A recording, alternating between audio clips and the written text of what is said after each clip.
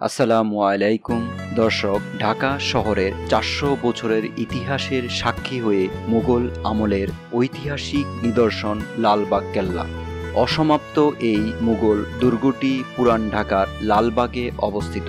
প্রতিদিন অনেক দেশি এবং বিদেশি দর্শনার্থী আসেন মুঘল আমলের ঐতিহাসিক নিদর্শন এই লালবাগের কেল্লার সৌন্দর্য উপভোগ করার জন্য। দর্শক, আমার আজকের ভিডিওতে থাকছে লালবাগ কেল্লার সংক্ষিপ্ত ইতিহাস। লালবাগের কেল্লায় দেখার কি আছে? কীভাবে যাবেন লালবাগের কেল্লায়? এবং লালবাগ কেল্লা খোলার সময়সূচি সহ বিস্তারিত তথ্য।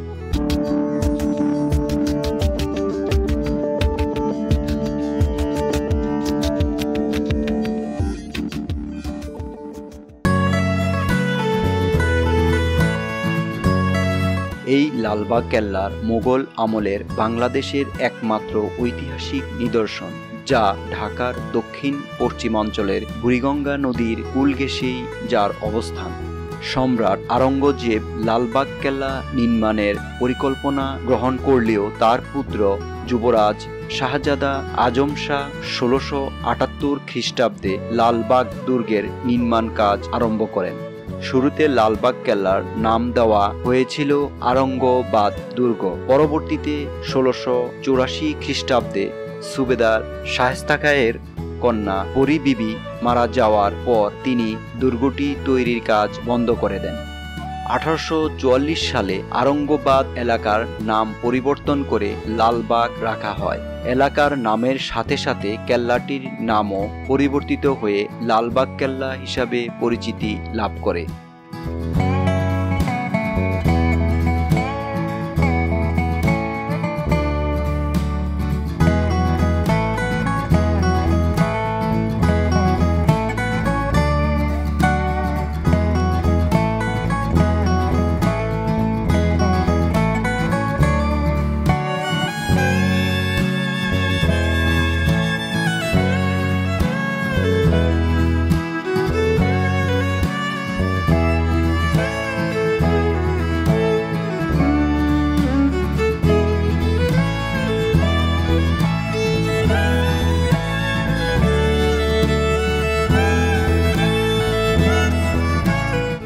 মুঘল নিদর্শনে ব্যবহার করা হয়েছে কোষ্টি পাথর, মার্বেল পাথর আর বাহারি রং এর টালি।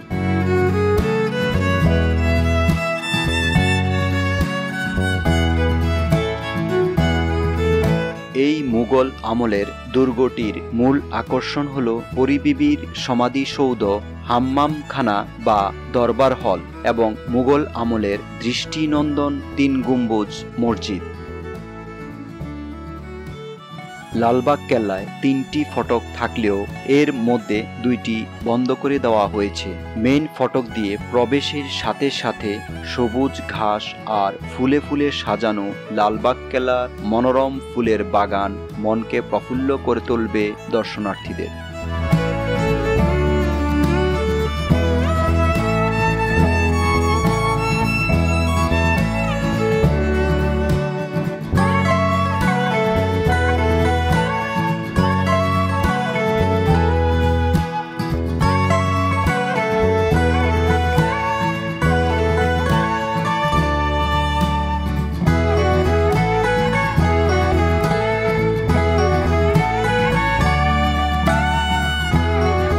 প্রবেশের পথ ধরে সোজা এগিয়ে গেলেই সামনে দেখতে পাওয়া যায় শায়স্তাকায়ের কন্যা পরিবিবির সমাধি সৌধ। সমাধি সৌধটি বর্গা আকৃতির। মার্বেল পাথরে তৈরি সমাধি সৌধটি অন্যান্য কারুকাজ পূর্ণ এবং মূল সমাধি সৌধের উপর তামার পাত দিয়ে মোড়ানো একটি কৃত্রিম গম্বুজ রয়েছে।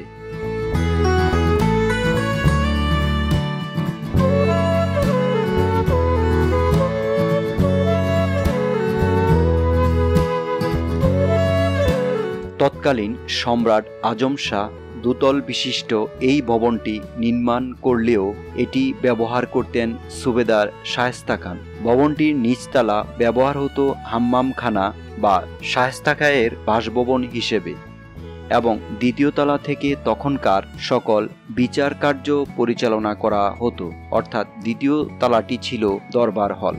বর্তমানে সুবেদার শায়েস্তা খায়ের বাসভবন ও দরবার হল লালবাগ কেল্লার জাদুঘর হিসাবে ব্যবহার হচ্ছে। মুঘল শাসন আমলের অসংখ্য স্মারক ঠাঁই পেয়েছে এই জাদুঘরে।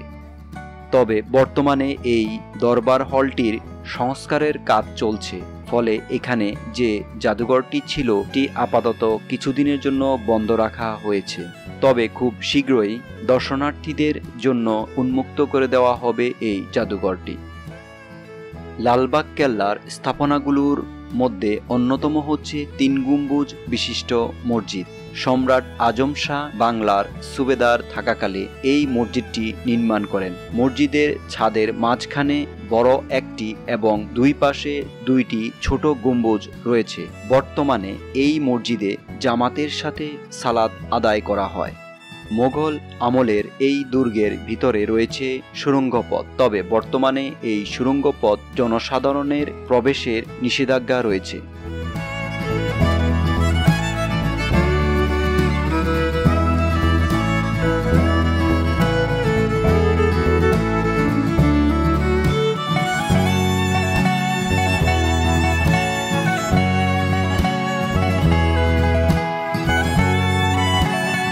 লালবাগ কেল্লা প্রবেশ টিকিটের মূল্য জনপ্রতি বিশ টাকা এবং বিদেশি পর্যটকদের টিকিটের মূল্য প্রতিজন দুইশো টাকা করে। পাঁচ বছর বয়সের নিচে বাচ্চাদের লালবাগ কেল্লা প্রবেশ করতে টিকিটের প্রয়োজন নেই।